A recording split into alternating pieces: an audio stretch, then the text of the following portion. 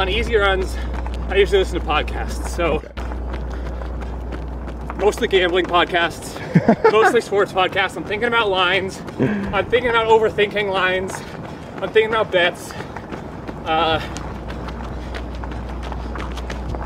and then I go and I lose money. And so what happens? I I do my research, I listen to the pods, I look at the lines, I check the injury reports, and then I lose at like an unexplainable amount.